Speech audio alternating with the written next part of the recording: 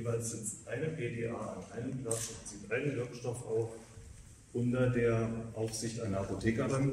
Und diese Apothekerin bringt dann diese Schalen mit den Chargenaufklebern für den Impfpass in den Kühlschrank, wo sie von der pharmazeutischen oder von der medizinischen Fachkraft abgeholt wird und zum Verimpfen appliziert werden.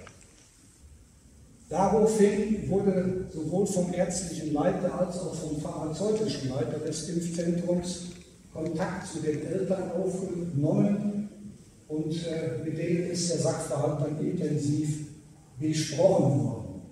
Eine weitere sofortige Überprüfung hat dann ergeben, dass ein weiteres Kind ebenfalls mit Moderna geimpft worden ist die drei betroffenen Kinder sind sieben, zehn und elf Jahre alt.